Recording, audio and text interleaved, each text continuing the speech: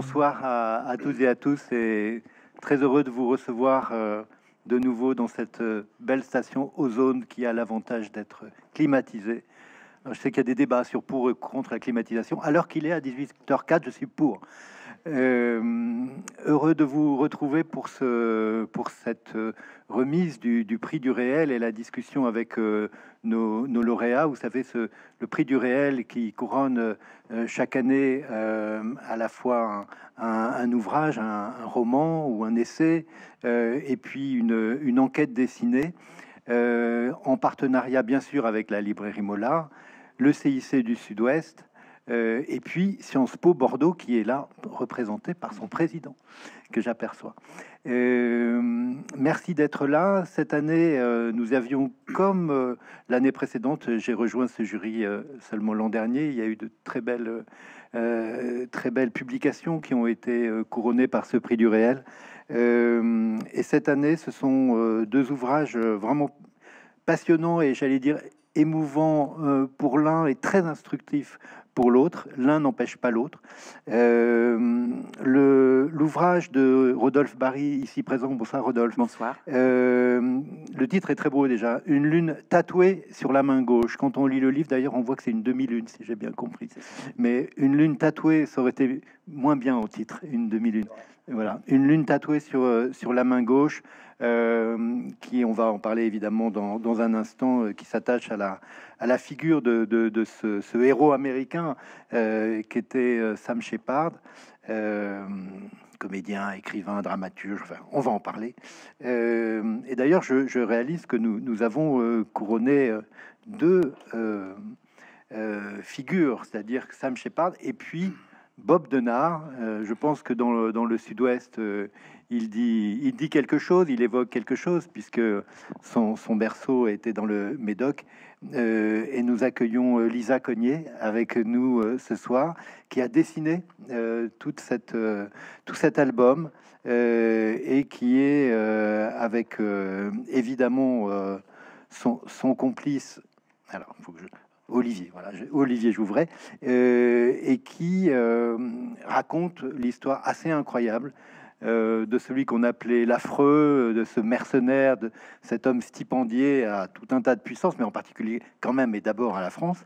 et donc là, on, plonge dans un autre univers de cette qui raconte aussi un, pan important de de la décolonisation, de ce que fut l'Empire français, et en particulier euh, la relation avec la France qu'on a appelée la, France-Afrique.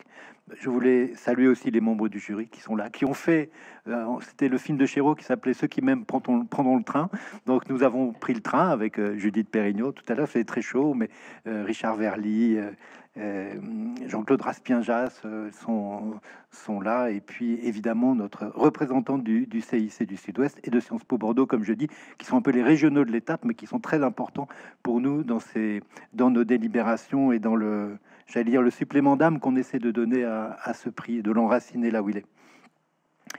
Alors, on va commencer euh, avec vous, Rodolphe Barry. Alors, quand, je me suis penché sur votre parcours, euh, j'ai pu mesurer toute la, le prisme américain d'abord, avec, euh, avec Raymond Carver, euh, avec Cormac McCarthy, avec aussi une incursion chez le scénariste de, La Nuit du Chasseur, et puis aussi Charles Juillet, dont vous avez, je pense qu'il y a un compagnonnage important avec l'œuvre de, Charles Juillet, qui est une, œuvre justement très, très intime. Ce que je voulais d'abord dire sur, sur ce livre, avant qu'on entre dans, dans cette figure de Sam Shepard, je crois que c'est ce qui nous a touché euh, dans, ce jury, euh, et moi qui m'a touché particulièrement aussi, euh, c'est, j'allais dire, le style, c'est, comment c'est écrit. Voilà.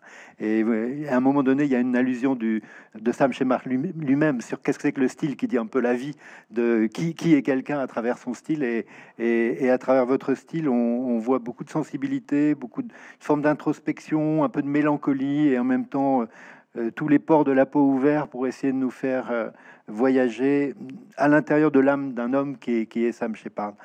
Euh, alors, pour commencer, je, je, voulais vous demander si ce livre est un rêve, ou est-ce que ce rêve, si c'en est un, et, pourquoi pas, est-ce qu'il est, il accroche quelques euh, quelques encoches comme ça dans, une réalité vécue, ou est-ce qu'on est dans une sorte de roman? Comment vous le définiriez? Comment vous caractérisiez ce livre, ce bah, C'est un roman hein, qui met en scène un narrateur qui va rencontrer un écrivain qui le fascine.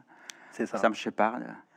Euh, peut-être qu'il a des questions à lui poser, des choses à lui dire. Ah il sent une nécessité d'aller le voir pour, euh, pour, pour, que cette rencontre ait lieu. Il ne sait pas si ça va se passer ou pas. Il part un peu comme ça à l'aveugle.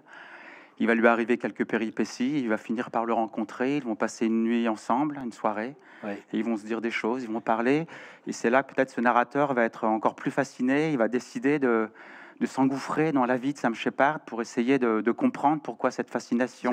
Qu'est-ce qui fait que cet homme. Euh, et, celui qu'il est devenu à 70 ans, qu'est-ce qu'il incarne, qu'est-ce qu'il dégage, qu'est-ce qu'il sent chez cet homme, d'où ça vient. Et il veut comprendre un petit peu le parcours pour euh, essayer de, de, mieux le connaître et de, de s'en approcher encore plus. C'est ça.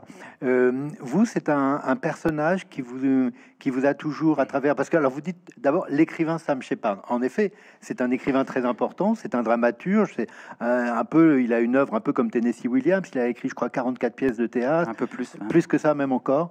Euh, on le connaît au cinéma, évidemment, avec l'étoffe des héros. Euh, ce, pilote d'avion, ce, jet tout rouge. Euh, on disait qu'il avait peur en avion, lui. Euh, oui, il prenait jamais l'avion. Il prenait jamais l'avion. Quelques fois, mais sous anxiolytique, sous alcool. voilà, voilà. C'est le cinéma qui fait que, évidemment, dans les moissons du ciel, on, voit ce, visage, cette personnalité. c'est d'abord un écrivain pour vous? Oui. si j'ai décidé de, de, raconter sa vie, c'est avant tout la rencontre d'une écriture. Hein, euh, à l'adolescence, j'ai lu un de ses livres, un de ses premiers livres traduits qui s'appelait Motel Chronicles. Et là, j'ai rencontré un écrivain, j'ai rencontré une conception de l'écriture qui m'a tout de suite accroché. Et j'ai voulu aller voir derrière cette écriture quel homme se trouvait. Et euh, au fil des années, j'ai mis 20 ans hein, à mûrir ce projet. J'ai découvert que la vie de Sam Shepard n'était pas du tout celle qu'on qu'on croyait, celle qu'on nous imposait par les images euh, hollywoodiennes. Hollywoodienne, euh, oui. Lui, il veut se tenir loin d'Hollywood. J'ai découvert surtout que c'était un pur écrivain. C'est quelqu'un qui consacrait sa vie entière, qui a consacré sa vie entière à l'écriture, et que le cinéma pour lui n'était qu'un moyen de gagner du temps, de l'argent, pour pouvoir écrire. C'est ça. Et évidemment, tout de suite là, ça m'a intéressé. C'est ce qu'on comprend très bien. Euh, donc, je, parle aux écrivains dans cette salle. Faites du cinéma, et après, vous pourrez, vous aurez plein d'argent pour écrire vos livres. Alors, il y, a. Il voulait pas faire de cinéma. Hein. Il, a pas il, a pas, il a commencé à écrire très jeune, hein, des pièces qui ont connu un certain succès à New York. Et c'est le cinéma qui est venu le chercher, lui, quand Malik Comme scénariste au départ Non. Non, comme euh, dramaturge. A commencé à écrire des pièces dans le Broadway off, comme on disait, un peu des théâtres underground. Beaucoup, beaucoup, facilement, parce que c'était encore euh, une conception un petit peu à la, de, la Beat Generation. Euh, première émotion, première pensée, première. Voilà. Il fallait pas trop revoir tout. Et après, il est revenu, heureusement, sur cette conception de l'écriture.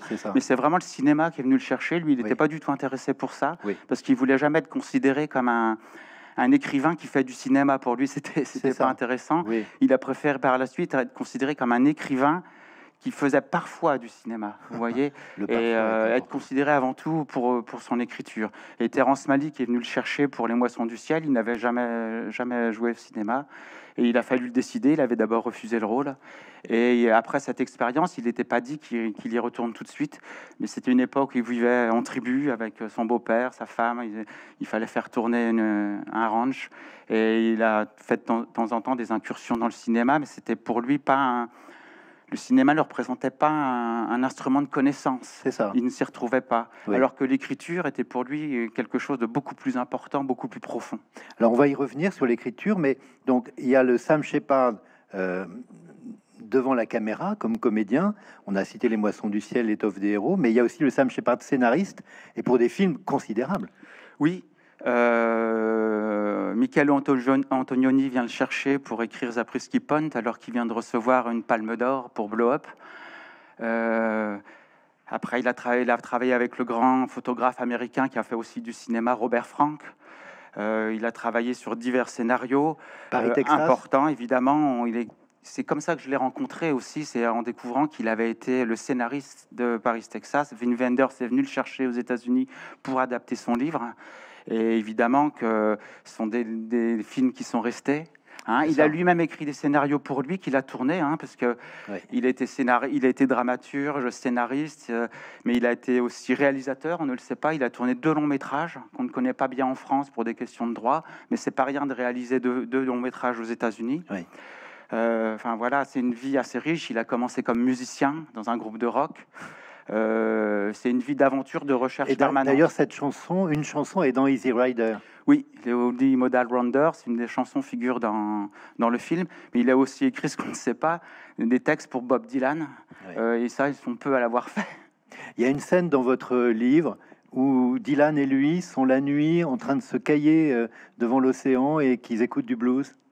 Oui, c'est pendant la tournée Rolling Thunder que Dylan avait organisée sur la côte Est, et et Sam Shepard avait été engagé à l'époque pour, euh, pour, refaire des plans, pour faire du cinéma, pour écrire des petites scènes, parce qu'il tournait un film en même temps sur cette, euh, sur cette tournée. Et ils ont passé ensemble plusieurs mois, et c'est un rapport un peu, un peu bizarre entre eux. C'était un peu froid, mais en même temps, il y avait une grande estime et ils se sont retrouvés euh, tout au long de leur vie comme ça. C'est ça. alors, on va y revenir parce qu'on on va rencontrer on va rencontrer Patti Smith, dont il a été, je crois, le compagnon à un moment donné. On trouve Kerouac. Euh, et donc, ce, titre, est-ce que vous pouvez nous raconter justement cette histoire de cette lune ou de cette demi-lune eh ben, Cette demi-lune qu'il a tatoué, que Sam Shepard avait tatoué sur la main. Euh, il y a certaines photos qui existent où on les voit, et puis d'ailleurs on peut même l'apercevoir dans certains de ses le pouce et l'index. Il, il, a cette lune qu'il s'était euh, fait tatouer euh, avec euh, Patti Smith. Ils habitaient le Chelsea Hotel dans les années 70, mythique, mythique hôtel. Et elle, c'était lui, avait choisi cette lune parce que c'est c'est dans le calendrier du mois du, des Indiens Hopi. C'est une lune qui représente son mois de naissance. C'est la lune des, des jeunes faucons. Euh, d'ailleurs, il a écrit un livre, un livre de poésie qui s'appelle Le Lune Faucon. Et elle, s'était fait euh, tatouer des éclairs euh, sur le genou. Oui. mais je voudrais relire, lire au, public une phrase qui, est très importante et que vous avez reprise dans, la quatrième de couverture à propos de... Parce que, bien sûr, quand on lit ce livre, on essaie de, de comprendre en même temps qu'on découvre la personnalité de Sam Shepard Quelquefois, on a un peu l'impression qu'on est avec Jim Harrison, euh, qu'on est avec ces, gens-là qui sont près de la nature, qui, mhm. sont, qui refusent le, système. Bon. Et vous dites ça, votre narrateur. Mhm. Les livres de Shepard sont pour moi comme des manuels de survie, de liberté. Ces errances sont devenues les miennes. Il est de ces écrivains qui ne s'adressent pas seulement au cœur ou à l'esprit, mais à la moelle épinière. Alors, cette phrase m'a retenu et je l'ai relue parce que je dis, mais je comprends le cœur, je comprends l'esprit, en tout cas j'essaye. Euh, la moelle épinière, donc c'est les tréfonds. Qu'est-ce qui vous remue tant euh, chez, chez Sam Shepard? Bah, Cette conjonction, c'est une conception de l'écriture qui, vous, vous, le disiez tout à l'heure, le style c'est l'homme, hein, qui correspond tout à fait à la, à la conception qui est la mienne. C'était une rencontre, tout de suite ça a fait écho en moi et c'est une conception finalement qu'on peut, dont on peut parler très simplement il écrit avec des mots simples, euh, il refuse toute fioriture, euh, et en même temps, chaque image doit être très forte, très, forte, très évocatrice, et peut-être contenir plusieurs dimensions. évidemment, il y a, il ça doit être euh, de la musique, ça doit être aussi s'adresser au corps et à l'esprit et à la moelle épinière, au système nerveux. Et c'est ce qui rend cette écriture à la fois très simple et à la fois très profonde, très voilà, qui fait un effet quand on le lit je crois que voilà, c'est tous ces, ingrédients qui font que ça m'a touché et qui continue encore à me toucher. Euh, ça m'a touché tout au long de son œuvre. Je voudrais dire une chose, c'est que cette conception de l'écriture, par exemple, elle n'est pas loin de celle d'un Raymond Carver, qui, avec les mots les plus simples, les plus quotidiens, peut dire les choses les plus profondes.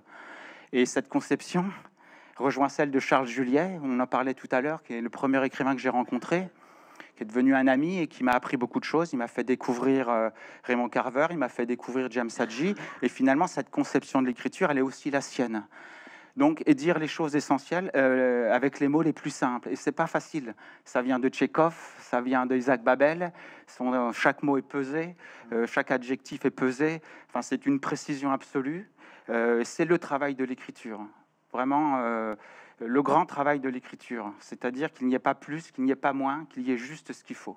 Et ça, c'est pour moi l'essentiel euh, voilà, du travail de l'écriture encore aujourd'hui. Et ça vient tout au long de ces, ces ça m'est venu tout au long de ces écrivains. en, vous lisant, j'ai pensé aux phrases de Colette. Vous savez, Colette qui disait écrire avec les mots de écrire comme personne avec les mots de tout le monde, et, qui disait quelquefois la littérature touche un nerf. Donc euh, touche un nerf, ben, elle touche, euh, elle touche la à la moelle épinière. Alors il y a ce passage dans, votre livre, c'est votre narrateur. Dès ses premiers textes, à, à Shepard, j'ai découvert que la vie et le monde me faisaient un effet identique. Pas besoin d'avoir vécu les mêmes choses pour comprendre ce qu'il raconte. Lui aussi a fixé des vertiges. Lui aussi a fixé des vertiges. Écrire, c'est justement euh, vertigineux, et c'est essayer de les de maintenir ce qui nous rend euh, ce qui nous déstabilise, de le, fixer sur la page? Oui, je pense c'est la, grande difficulté de l'écriture, c'est de pouvoir euh, faire en sorte que l'émotion, la pensée coïncide absolument avec l'expression. Il ne faut pas que ça déborde, il faut, que ce soit exactement ça, sinon on est à côté et c'est perdu. Et fixer des vertus, c'est ça. Alors, et, je continue ce passage. Certaines de, euh, donc vous dites lui aussi a fixé des vertiges. Certaines de ces phrases sont gravées dans mon esprit. Je lui dis que mon Motel Chronicles a été un événement pour moi, que ce recueil m'a aidé à sauter le pas. Oh, tu es un écrivain c'est un peu grâce à lui que j'ai réfléchi à ce que je pouvais faire. Alors évidemment, euh, c'est pourquoi je vous ai demandé si on était dans un roman, parce qu'on vous, on vous, voit d'une certaine manière, et le, le, livre commence de la manière suivante. Euh, je veux pas trop le déflorer parce que, mais juste les premières pages qui vous donnent. donc le narrateur est, c'est la nuit, donc il dort, et il est réveillé par un coup de fil à 3 heures du matin euh, qui vient des États-Unis, il apprend la, mort de, Sam Shepard. Et euh, ensuite, on ne sait pas chronologiquement, mais on comprend que ce narrateur est parti quelques années plus tôt aux États-Unis, en Floride, rencontrer euh, Sam Shepard qui tournait une série, une série télévisée. Et ce qu'il va lui demander, la première chose qu'il va lui demander, Sam Shepard, c'est de lui ramener quoi hein De la tequila? De la tequila, voilà. Pour pouvoir discuter tranquillement. Et, donc vous êtes renseigné sur les, les tequila qui auraient pu euh, plaire à, oui, oui, il, avait, il, avait, des goûts précis. Il avait des goûts précis sur la tequila? Et vous aussi? Non, pas spécialement sur la tequila. Mais donc effectivement, euh, lorsque euh, on, vous suit, on, est dans une sorte de, j'allais dire, de, de, panthéon littéraire parce que à mesure que cette conversation, donc qu'on comprend étant imaginaire entre ce narrateur et Sam Shepard, euh, on voit passer, euh, par exemple, Oscar Wilde.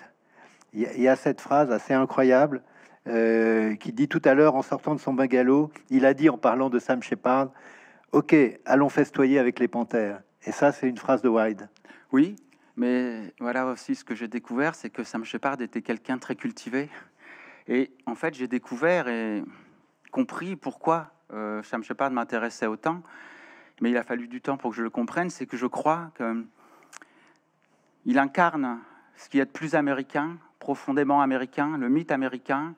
On l'a souvent pris pour le cow-boy, il, était, il élevait des chevaux dans des ranchs, il vivait à l'écart d'Hollywood, c'était quelqu'un plutôt pas facile, euh, qui avait besoin de solitude, de silence, d'être proche de la nature.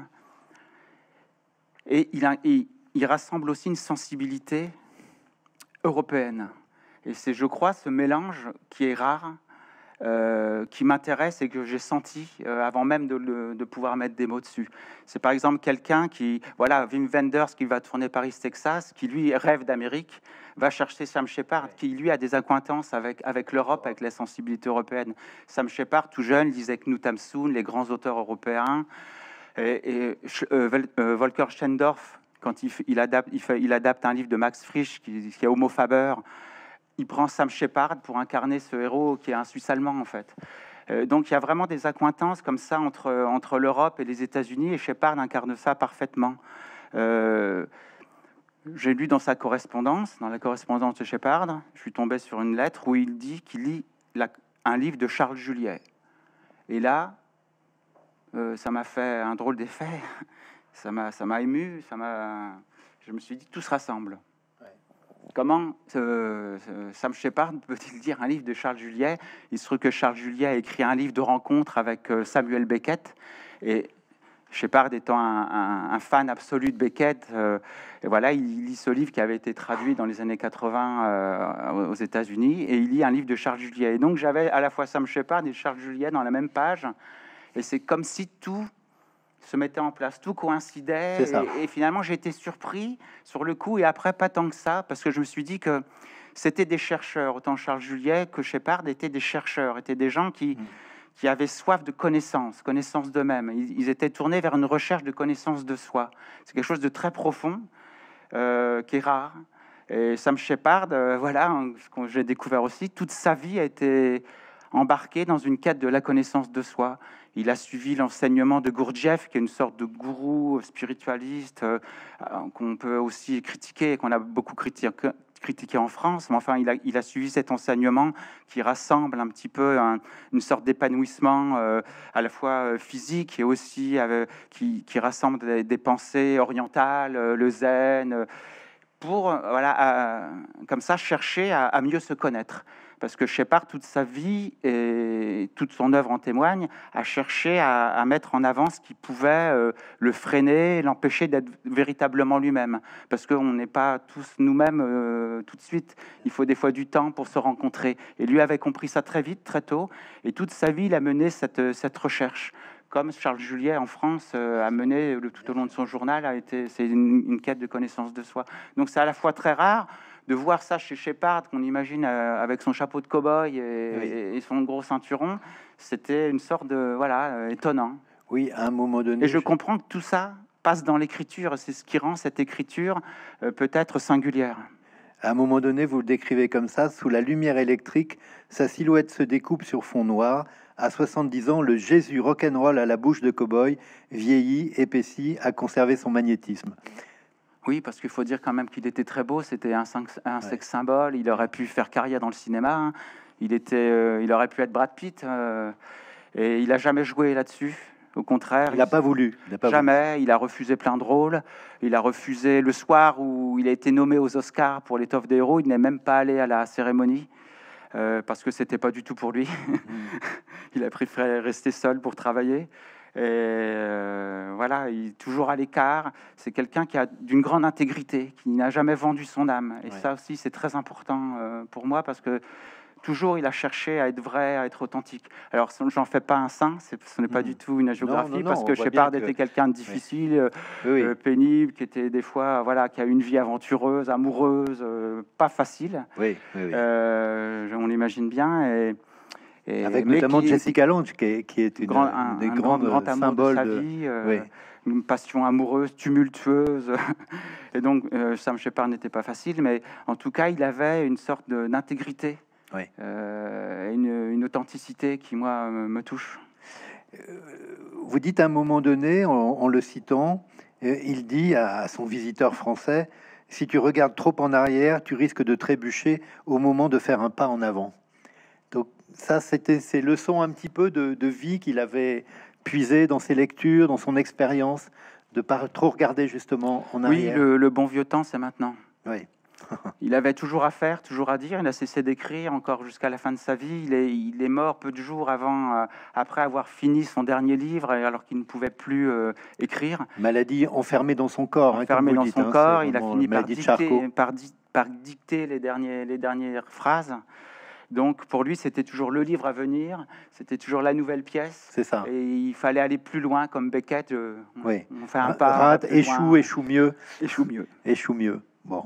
En tout cas, ce, ce livre, c'est vous avez bien échoué. C'est vraiment, euh, c'est un très, c'est magnifique parce que euh, justement, on est, on sent votre quête à travers votre narrateur de, vous approcher au plus près, de, façon la plus fidèle possible, et en même temps en laissant pour le lecteur une, place à notre imaginaire. C'est-à-dire que le, vous nous imposez pas un Sam mhm. Shepard, vous nous, mhm. vous nous l'esquissez, vous nous donnez euh, quelques éléments pour qu'on puisse euh, un, peu le situer, mais c'est plus un, un portrait, j'allais dire, presque spirituel de Shepard qu'une biographie, ce qui, mhm. ce qui s'apparenterait à, une biographie, ce qui n'est pas du tout le cas. Vous n'allez pas lire une biographie de Sam Shepard, vous allez lire un portrait de Shepard en écrivain. Voilà, c'est un portrait en écrivain. Et effectivement, pour beaucoup d'entre nous, en tout cas pour, pour mon, c'était mon cas, mais je pense que beaucoup d'autres, on avait en tête, moi j'avais en tête les moissons du ciel, j'avais en tête l'étoffe des héros. Je, ne savais pas qu'il avait été scénariste par ailleurs, mhm. mais euh, cette œuvre écrite euh, est en effet considérable. Et, elle, est, elle est considérable et pourtant très peu connu en France, oui. ou mal connu. Oui. Euh, bon, son théâtre n'est pas du tout traduit. Alors, vous pouvez nous parler, parce qu'il y a une trilogie sur son enfance, dont un des trois qui a eu un peu le prix Pulitzer du théâtre, je crois, ou quelque chose ah, L'enfant enfoui. L'enfant enfoui. Oui, oui, voilà. c'est une pièce. Il a, il était très jeune. Hein, euh, il a eu, il a eu le Pulitzer. Euh, le livre n'était même pas, la pièce n'était même pas éditée sur un manuscrit. mais il a écrit, oui, 50 pièces, hein, donc qui sont, qui sont montées depuis le début. Hein, on ne le sait pas en France, mais Shepard est de le, le, dramaturge américain le plus joué dans le monde. Ah oui Oui. Donc, euh, ça, on dit ça aux Français, ah bon? Euh, Ces pièces sont jouées en continu à New York dans tous les grands théâtres américains, mais pas une, hein, une dizaine de pièces. Certaines sont jouées en continu depuis leur création par les plus grands acteurs américains. Sean Penn, Val Kilmer, euh, Ed Harris, tous les grands acteurs qu'on connaît aujourd'hui ont joué Shepard ou continuent à jouer Shepard. Mhm. Là, euh, Joachim Phoenix va, va, jouer, va reprendre une pièce à Broadway. Enfin, c'est pour les Américains, il est d'abord un dramaturge, d'abord un écrivain, alors que pour nous, c'est juste un acteur. Euh, et c'est voilà ce que j'ai voulu peut-être euh, informer. Enfin, j'ai voulu expliquer, chercher à comprendre et, dire voilà quel, quel écrivain il est. On ne le sait pas. Euh, je pense que la presse n'a pas véritablement fait son travail. Oui. Elle s'est contentée d'une euh, image un son peu le, Son livre Testament qui vient de paraître euh, chez Robert Laffont, je crois, moi je n'ai trouvé aucun article ah sur un écrivain de premier plan qui que je mets aussi au Crémon Carver. Pourquoi? Voilà. Il faut lire aussi les vitamines du bonheur. Ça, ça ah non, mais ça n'empêche pas. Bien sûr. Ça mais, pas, mais, je sais pas, on a vraiment envie. Quand on vous écoute et qu'on vous lit, on a effectivement envie. c'est encensé aujourd'hui par la presse, reçu en grande pompe partout. Elle est l'écrivain, alors que pas du tout. Euh, c'est Shepard l'écrivain. Euh, Patty Smith euh, a écrit très tardivement, même si son son, euh, Just, Kids, est, un, très beau livre sur ses enfants, sur, son, sa jeunesse. Mais bon, ces livres, ces livres suivants ne sont, ne sont pas ceux d'un écrivain de premier plan. Et je pense que là, Shepard, il a un peu, hmm. je sais pas, il est passé à la trappe. Il a pâti. C'est vraiment. Euh, il, dire, il, a pâti. Euh, temps, de, de, le redécouvrir, quoi. ouais. J'aurais pas dû oser faire ça. c'est la fin, c'est la fatigue, euh, c'est la chaleur. Hein. Euh, vers, la fin du, livre, vous, vous dites que après avoir hésité, Sam Shepard a, a animé un atelier ou des ateliers d'écriture. Euh, vous avez pu savoir ce qui bah, ce qu'il a transmis dans, dans, cette. non, c'est très difficile, mais au début, il a, au début, il a refusé parce qu'il pensait qu'il serait très difficile pour lui d'apprendre quelque chose à des élèves parce que lui-même ne savait pas. Et en fait, s'il a accepté, c'est qu'il a, il a pensé qu'il allait apprendre des élèves. Ah oui, c'est ça. C'est ça qu'il a. Il a bien fait. Je pense que quand on fait ça, on mm. apprend des autres. De commencer par dire je ne sais pas, je ne sais pas comment ça marche. On va essayer d'y réfléchir ensemble. Oui. Euh, une lune tatouée sur la main gauche. Euh, franchement, euh, vous pouvez le lire à deux mains. Et c'est un très très beau livre et on est vraiment fier de l'avoir de l'avoir distingué pour ce prix du réel 2022. Alors là, on était dans un univers, je dis pas de douceur, parce que comme vous l'avez dit très bien, euh, Sam Shepard, c'était, euh, il n'était pas facile, facile non plus, mais, mais c'est vrai qu'il y a une sorte de, poésie dans son parcours, dans sa vie. Enfin, on a l'impression que c'est un poète dans sa manière de vivre. Une intensité permanente. C'est ça, quelqu'un d'intense, voilà, d'engagé, d'intense. Euh, alors, Lila, nous voilà avec Bob Denard. Euh, qui vous a, donc, comme on dit, euh, sans transition. Euh, c'est un très bel album que, le jury aussi a, voulu distinguer cette année. Et est-ce que vous pouvez déjà nous, raconter comment s'est fait justement ce, duo entre vous? J'ai compris que vous étiez à l'école avec Olivier, que comme ça vous, avez comme, pu parler de ce projet, vous connaissez. comment ça naît un, un projet comme celui-là où on a vraiment une source de, de documents, euh, d'informations très, très fiables et très précises. et puis après, ben, on nous embarque, on nous prend par la main, non pas avec des mots, même s'il y a des mots dedans, mais par des, scènes et, par une sorte de, j'allais dire, de, féerie de couleurs, parce que c'est quelque chose qui frappe quand on est, euh, quand on est dans ce Bob de Nard. Euh, on n'est pas dans les affreux. D'ailleurs, lui, il veut changer, il veut qu'il soit beau, et, d'une certaine manière, vous le rendez beau. Et comment on fait? Comment ça commence? Alors, euh, bonjour à tous déjà. du coup, la, collaboration avec Olivier, ça s'est fait que du, on était, donc j'étais son élève à l'école Émile Cole. Donc au départ, euh, ça se passait euh, plutôt. Euh, j'allais le voir souvent, il me disait de recommencer. C'était ça le, le, mode élève. Et après, l'école Émile Cole à Lyon. C'est ça, l'école Émile Cole à Lyon. Et plus tard, on a, on a collaboré ensemble parce que on faisait partie d'une même association de d'auteurs de, de bande dessinée à Lyon qui s'appelle l'épicerie séquentielle et cette association, elle est, intéressante parce que c'est une association où on s'auto-édite collectivement pour euh, créer des, petits des, journaux euh, à propos de Lyon, des anecdotes lyonnaises euh, non fictives, quoi. Voilà, documentaires. Et du coup, on, faisait partie de cette association et, on a pu faire deux, numéros de, de, ce journal mensuel, donc qui s'appelle Les rues de Lyon. Je vous conseille d'aller d'y jeter un œil. C'est intéressant. Il y a plein d'anecdotes. Euh, voilà, donc on a pu euh, un peu expérimenter, voir comment ça se passait, et là, euh, bah, il est devenu sympathique et pas un vieux prof grincheux. Donc je me suis dit que c'était que c'était agréable de, travailler avec lui, et surtout pour le fait qu'il me laissait de très très libre sur le dessin. En général, il, me donnait assez peu d'indications que, ce qui est vraiment nécessaire ce qui sera écrit sur la planche en réalité, les dialogues et, les voix off qui seront écrits sur la planche.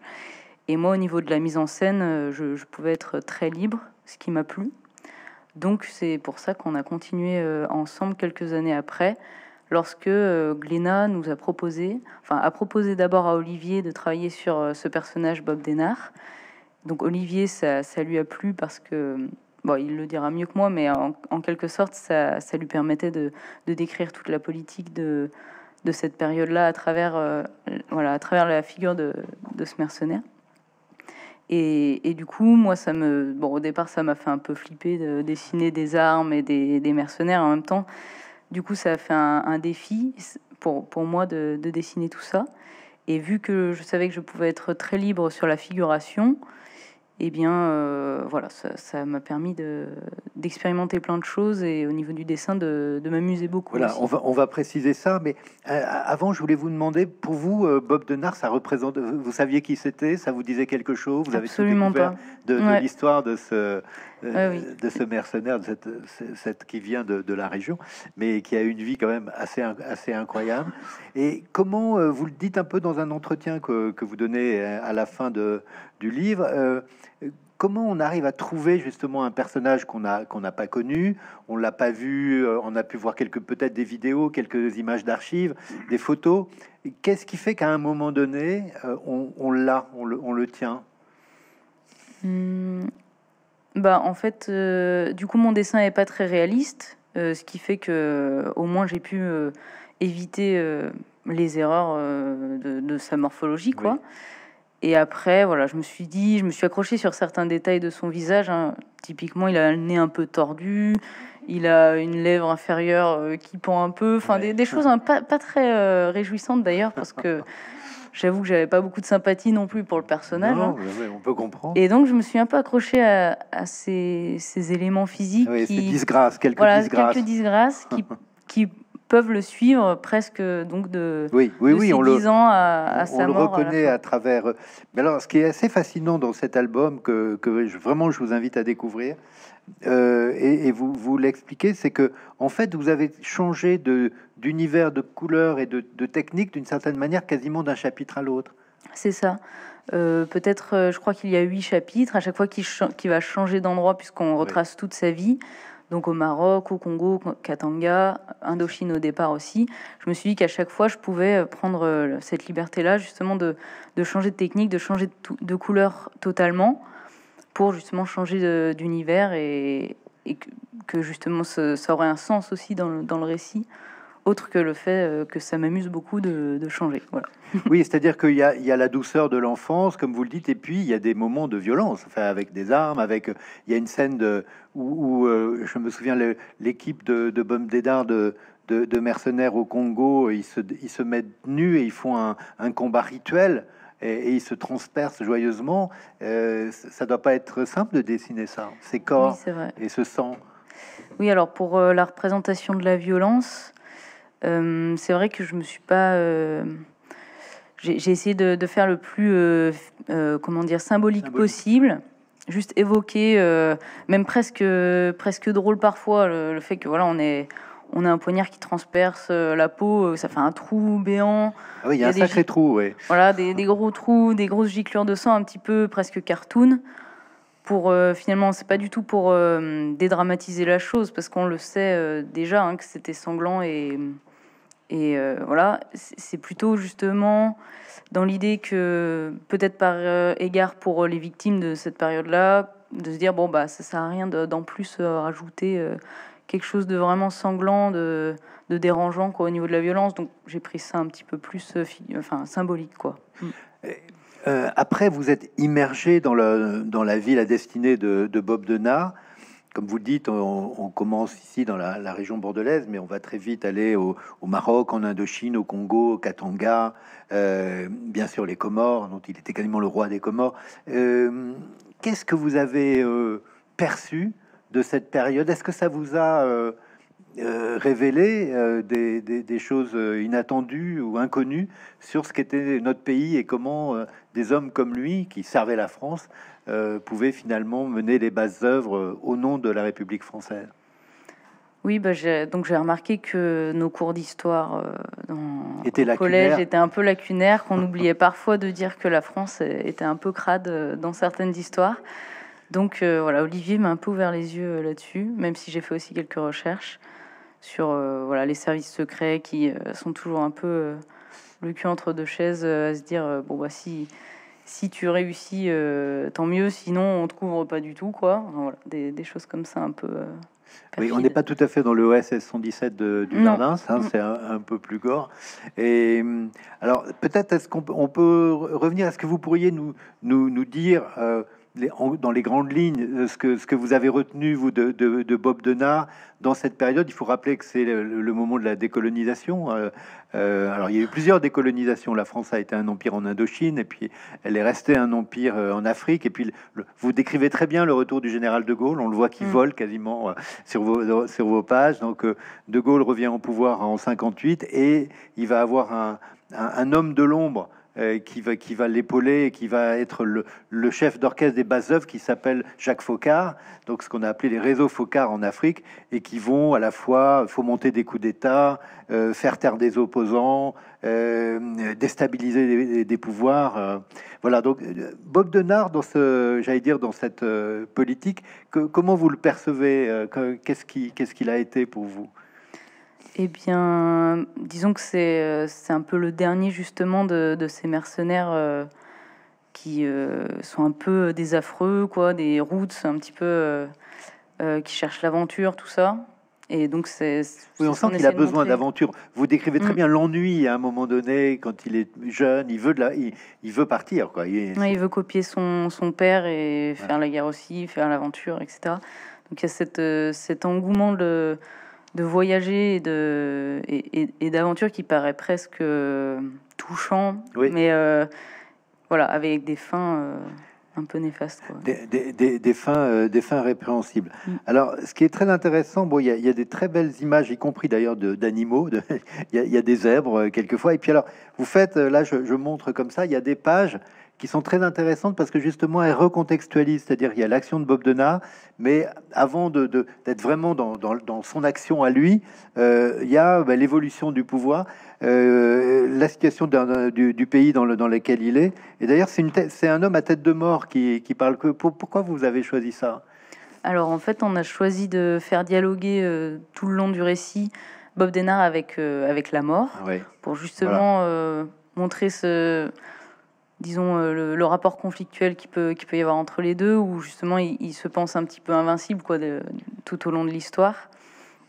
Et la mort est là pour un petit peu le questionner, le titiller tout le long de, tout le long de l'histoire. Donc Olivier Jouvray, il, justement, il, dit que la mort est un petit peu, donc Olivier lui-même, qui, qui, qui s'est posé devant Bob Denard et s'est dit, mais enfin, qu'est-ce qui, qu'est-ce qui pousse un, un, être comme ça à, devenir, à devenir un mercenaire presque roi des Comores, qu'est-ce qui, qu'est-ce qui le pousse euh, à, faire ça? Donc je, je vais prendre euh, Olivier prend l'apparence de la mort pour aller le questionner un petit peu tout le long du récit et le titiller quoi. C'est ça. Euh, pour vous, vous le, vous le définiriez, qu'est-ce que c'est ces mobiles à Bob Denard? Jusqu'au bout Vous avez parlé de l'aventure. Est-ce que c'est quelqu'un qui a une idée de, qui travaille pour la France, pour, que c'est malgré tout qu'il y a une certaine grandeur de la France qu'il faut, qu'il faut préserver, même si c'est euh, le prix à payer, c'est des, des, actions répréhensibles euh, je crois, je crois que oui. Alors je sais pas si c'est, euh, je pense que c'était pas simplement un mercenaire qui agissait pour pour l'argent. Il avait des sortes d'idéaux plus grands que ça, a priori. Oui, Donc anticommuniste et etc. C'est ça. Je crois que l'anticommunisme est quand même un ressort assez important mm. chez lui. Et puis il faut rappeler, vous, c'est très bien rappelé dans le dans, ce document, parce que c'est aussi un document, euh, si on se replace dans le contexte de, la fin des années 60, euh, il faut jamais oublier que la décolonisation en Afrique, elle est sur un fond euh, de, guerre d'Algérie aussi, qui s'arrête en 62 avec les accords d'Évian, et que avec l'indépendance de l'Algérie, c'est le pétrole qui s'en va aussi. Et donc il y a cette obsession française d'avoir une, sinon une mainmise, mais un, accès privilégié à un certain nombre de matières premières. On est presque dans l'actualité aujourd'hui, d'aujourd'hui, mais euh, avec l'uranium, bien sûr, euh, pour le, pour le nucléaire, euh, le pétrole du Congo, et puis il y a aussi évidemment les forêts, le bois, les métaux précieux. L'enjeu du Katanga, ça, va être ça. On a l'impression quand on lit ces combats de Bob Denard qu'on est d'une certaine manière, surtout avec ce qui se passe en Ukraine depuis trois mois, qu'on revient à ces enjeux primaires, j'allais dire, qui est comment on va euh, avoir, sinon mettre en coupe réglée, mais en tout cas avoir un contrôle, une maîtrise, voire la mainmise sur d'accès à des ressources. Je ne sais pas quoi répondre à cette ah question, mais je suis d'accord avec mais comme c'est dans le livre, alors ça m'a inspiré, moi. Parce que j'ai trouvé ça passionnant. Euh, oui, bah, j'avais fait une, image un peu au, centre du bouquin, à peu près sur euh, le réseau Focard, justement, avec un énorme Focard euh, un peu araignée métallique qui va aller toucher un petit peu tous les, tous les bouts de l'Afrique pour récupérer tel ou tel. Ça va jusqu'en Afrique du Sud. Enfin bon, c'est. Mais voyez, justement, votre illustration, vous êtes modeste, hein, parce que votre illustration justement des réseaux Focard, elle vaut beaucoup de cours de sciences politiques que j'ai lus, qui étaient beaucoup plus ennuyeux. Moi, je dis pas ça à Bordeaux, ça devait être mieux. Hein. Donc, vous voyez, vous avez des, doubles pages comme ça où on rentre vraiment dans, j'allais dire, dans l'enfer végétal.